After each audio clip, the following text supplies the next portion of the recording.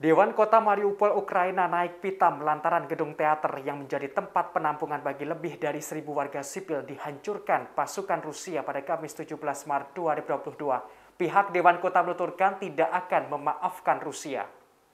Dikutip dari tribunnews.com pada Kamis 17 Maret 2022, sejumlah pejabat kota membagikan foto bangunan teater, termasuk Menteri Luar Negeri Dmitro Kuleba dalam akun Twitter pribadinya, ia memposting perbandingan foto gedung sebelum dan sesudah serangan. Sebelum dibom, gedung itu berlantai tiga dan bercat putih.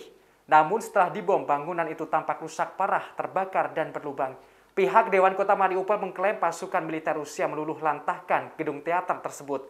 Diketahui gedung itu menampung lebih dari seribu orang yang mengungsi di Mariupol Selatan. Bahkan Dewan Kota tak memaafkan atas peristiwa ini. Sementara itu, Wali Kota Mariupol Vadim Boychenko menyebutkan serangan terbaru ini merupakan tragedi yang mengerikan. Ia mengungkapkan sebagian warganya masih beruntung selamat atas insiden ini. Namun ada sebagian warganya yang menjadi korban. Serangan ini disebut Boychenko sebagai kejahatan genosida bagi Ukraina. Kendati begitu, sang wali kota yakin Mariupol suatu saat akan bangkit dari kehancuran ini. Sebagaimana diketahui, kota Mariupol merupakan target strategis bagi Rusia. Selama berhari-hari pasukan Rusia menembaki kota tersebut. Akibatnya listrik terputus hingga pasokan makanan dan air tersendat.